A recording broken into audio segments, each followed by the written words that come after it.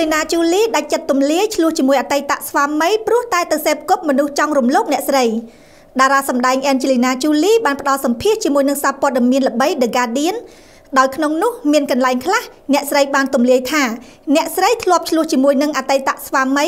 ដោយសារតែលោក Brad Pitt ទៅពាក់ព័ន្ធនឹងលោក Harvey Weinstein ផលិតករកំពូលរឿងអាស្រូវប្រចាំ Hollywood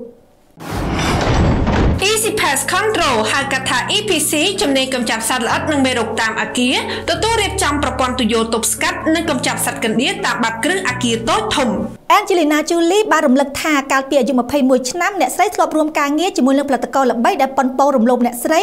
នៅក្នុងភាពយន្តរឿង Playing by My Heart អ្នកស្រីបានរៀបរាប់ពីបទពិសោធន៍ជីវិតរួមការងារជាមួយនឹងប្រតិកររូបនោះថាអ្នកស្រីប៊ីសនឹងត្រូវចាប់រំលោភបើសិនអ្នកស្រីមិនអាចរត់ចេញពីបន្ទប់នោះទាន់ពេលវេលា បើពេលនោះអ្នកអាចរត់គេចចេញពីបន្ទប់នោះរួចអ្នកគ្រាន់តែគិតថាគេប៉ុនប៉ងតែមិនបានធ្វើទេមែនទេ តែការពិតការព្យាយាមប្រព្រឹត្តនោះគឺការធ្វើបាបមនុស្សស្រីបាត់ទៅហើយសម្រាប់រឿងនេះអ្នកស្រីបានលើកឡើងបន្តទៀតថា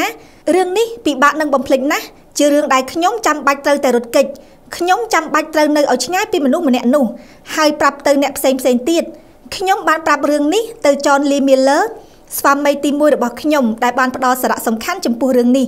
គាត់បានប្រាប់អ្នកផ្សេងផ្សេងថាកុំបណ្ដោយឲ្យមនុស្សស្រីណាម្នាក់នៅក្បែរ Harvey តែម្នាក់ឯងខ្ញុំធ្លាប់ត្រូវបានអញ្ជើញឲ្យសម្ដែងរឿង The Avatar តែខ្ញុំបដិសេធព្រោះរឿងនោះមានពាក់ព័ន្ធនឹងគេម្នាក់នោះខ្ញុំឈប់រវល់ឬធ្វើការងារជាមួយគេទៀត តែរឿងស្មុគស្មាញបានចូលមកដល់ពេលដែល Brad Pitt ចូលទៅពាក់ព័ន្ធនឹងបុគ្គលរូបនោះ Brad Pitt បានសម្ដែងភាពយន្តរបស់ Harvey រឿង Inglourious Bastard កាលពីឆ្នាំ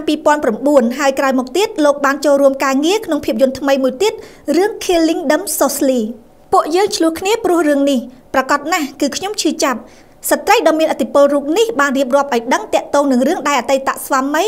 នៅតែបន្តធ្វើការងារជាមួយនឹងផលិតកររូបនោះទាំងដែលដឹងពេញទ្រូងថាមានរឿងអ្វីកើតឡើងចំពោះលោកស្រីខ្លះដូច្នេះអ្នកស្រីសម្រេចចិត្តថាមិនជួយឃោសនាផ្សព្វផ្សាយភាពយន្តរបស់ស្វាមីនោះទេ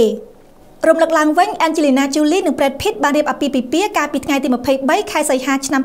2014ចំណងស្នេហាប្រេះឆារបស់អ្នកទាំងពីរបន្សល់ទុកចំណងដៃកូនចំនួន6នាក់កូនបង្កើត3នាក់កូនចិញ្ចឹម3នាក់កូនចិញ្ចឹមមានជនជាតិខ្មែរជនជាតិអេស្យូពីនិងជនជាតិវៀតណាមសូមអរគុណចំពោះការគាំទ្រត្រយង Big New Easy Pass Control ហៅកាត់ថា EPC ជំនាញកម្ចាត់សត្វល្អិតនិងមេរោគតាមអាគារទទួលរៀបចំប្រព័ន្ធទុយោទប់ស្កាត់និងកម្ចាត់សត្វកណ្ដៀរតាមបាតគ្រឹះអាគារតូចធំ។